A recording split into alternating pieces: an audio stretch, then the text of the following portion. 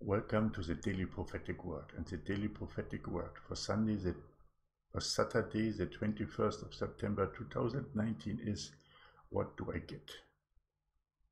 Are you asking yourself after every preaching, meeting, or conference, What do I get? Are you following a consumer based faith? Everything today must bring benefits to you and you only follow the preachers that will promise you a physical return, your faith is based on a consumer's mind. What do I get? If that question is on your mind, you should repent and ask yourself what you can do for your God and for your Lord Jesus. If you follow his path and his words, then benefits will follow according to your faith and your endurance. What do I get? Are you worthy to receive something? Have you followed the commands that the Lord has for your life? Have you died for Jesus many times? Did you give up your worldly desires, your worldly honors, and your careers? If not, then do not ask, What do I get? And this was a daily prophetic word given by the Holy Spirit for Saturday, the 21st of September 2019. Many people cannot help or lift up the needy without asking, What do I get from it? How do I get my reward if I do that? Many people following the false teaching that if you give, you will receive. Where is there always a reward? We know that our reward is in heaven and not on earth. If you receive your worldly rewards, then what kind of rewards do you expect to get in heaven? Nothing will be there for you because you have already received your worldly honors and your worldly rewards. So do not ask, What do I get? If you give, give freely. If you donate, do it that the left hand does not know what the right hand is doing.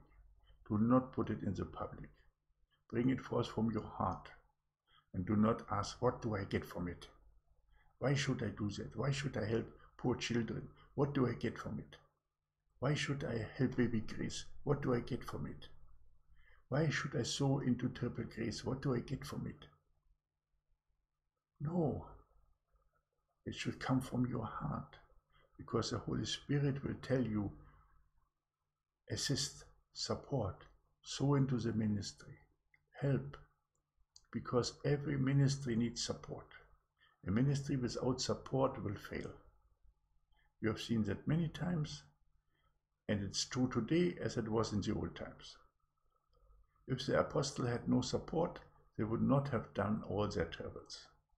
If they would not have found support in the towns that they were going to, they would not have spread the gospel so far and laid that foundation on which now today's churches are built. So if you come forward and sow into our ministry, then do it with an open heart. And don't talk about it. Just do it because you do it from your heart. And you do it because the Lord has sent us, has, has sent you to us. And because the Holy Spirit has opened your mind and soul and said, assist this ministry so that it can reach all the four corners in the earth.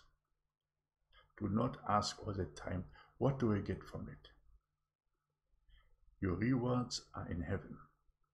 And for everything what you do right now, that you help the poor children in Cambodia, you help the family of Baby Grace and Baby Grace, you help with the establishing of societies of the rose in the world. All this will be put onto your side. It will be placed down in the book of life and you will receive heavenly rewards for that.